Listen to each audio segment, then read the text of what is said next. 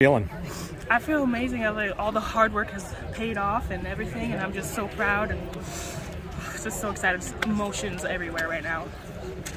You're the first girl to win a state discus champion at PV. What does that mean to be the first? It, I don't even know. I just feel grateful and that there's more to come for me and with my teammates, and I just love that I made history.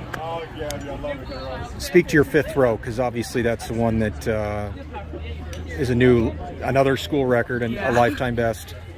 What was it about that one that felt special? Um, I just wanted to let it rip, and then I tried my hardest, and it came out to be that, and I was so grateful. PR again, love it.